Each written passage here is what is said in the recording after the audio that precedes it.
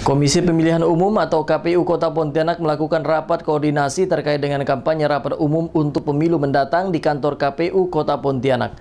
Koordinasi tersebut dihadiri Bawaslu Kota Pontianak, TNI dan Polri, pemerintah Kota Pontianak serta tim penghubung 16 partai politik.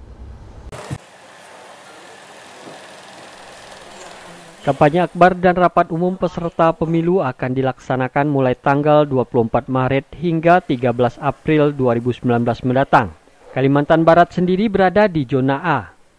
Kampanye dilaksanakan selama 21 hari hingga masa tenang.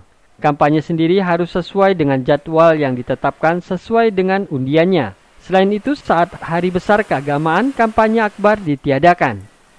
Kegiatan kampanye akan dimulai dari pukul 8.00 pagi hingga pukul 16.00 sore yang jadwalnya ditetapkan oleh KPU Republik Indonesia.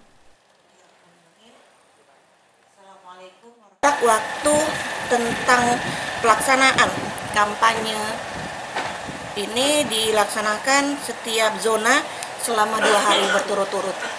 Itu dari jam 8 sampai dengan jam uh, eh, 16. Kita mulai tanggal 24 Maret sampai tanggal 13 April 2019. Memang uh, kita menekankan kepada partai politik